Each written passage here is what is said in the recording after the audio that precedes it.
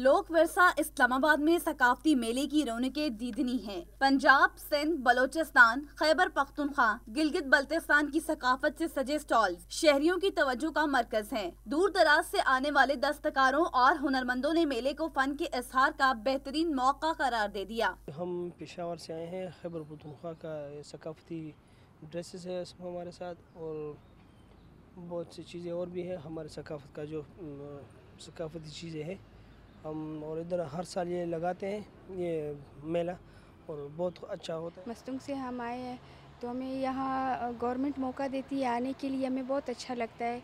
और बहुत सारे पेरेंट्स ऐसे अपने बच्चों को बताते हैं सकाफ़त के हवाले से कि हमारी सकाफ़त क्या है पंजाब की क्या है बलूचिस्तान की क्या है सिंध की क्या है खैबर पख्तूनख्वा की क्या है और इनको पता होना चाहिए। और गवर्नमेंट का हम बहुत शुक्रगुजार है जो हमें वो मौका देते हैं यहाँ पे बुलाने के लिए। हम बलूचिस्तान से आए हैं। अपने कल्चर को प्रमोट करने के लिए आए हैं। मुख्तलिफ़ चीज़ें हैं हमारे पास।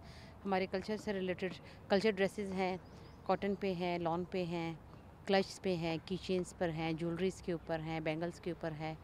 हमने उनको यानी कि हर चीज़ के ऊपर प्रमोट करने के लिए हर चीज़ पे अपने कल्चर को हमने चेंज करके लेकर आए हैं। ये एक वाहद पाकिस्तान में इदारा है जो अपनी सकाफत को इकट्ठा करता है। जिस तरह हम हाफजाबाद से, पंजाब से ढोल, चिमटा, शनाई लेके आए हैं, अपने फ़न को इधर मुजाहरा करेंगे। शहरियों ने रिवायती रक्स के साथ रिवायती पकवानों का भी लुत्फ उठाया। शहरी कहते हैं कि हर रहन सहन में पकवान अहम हिस्सा हैं। ऐसे मेलों से मुल्क के मुख्तलिफ़ हिस्सों में मौजूद जायकों से वाकफियत मिलती है। शहरियों ने सकाफत के फरोग के लिए ऐसे मेलों के इनका को ज़रूरी करार दिया। शहरियों ने मेले की खूब सैर की और मुख्तलिफ़ स्टॉल से सकाफती अशिया की खरीदारी भी की, जो हुनरमंदों की हौसला अफजाई भी है और सकाफत के फरोग के लिए अहम भी।